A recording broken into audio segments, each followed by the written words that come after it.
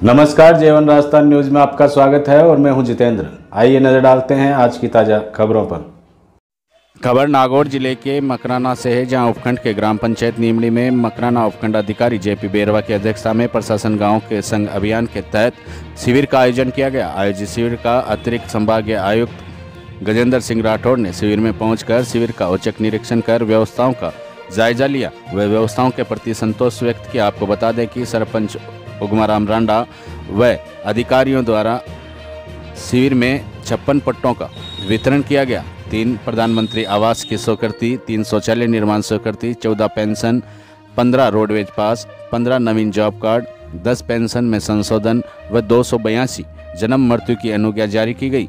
इस दौरान पूर्व विधायक श्री राम भीचर तहसीलदार दिनेश कुमार शर्मा नायब तहसीलदार गजेंद्र सिंह राठौड़ विकास अधिकारी धन सिंह राठौड़ ग्राम विकास अधिकारी हिंदू चंद नवल उप सरपंच सुरेंद्र ढाका सा, कनिष्ठ सहायक मनीषा सहित अन्य विभागों के अधिकारी व ग्रामीण मौजूद रहे। मकराना से ब्यूरो रिपोर्ट।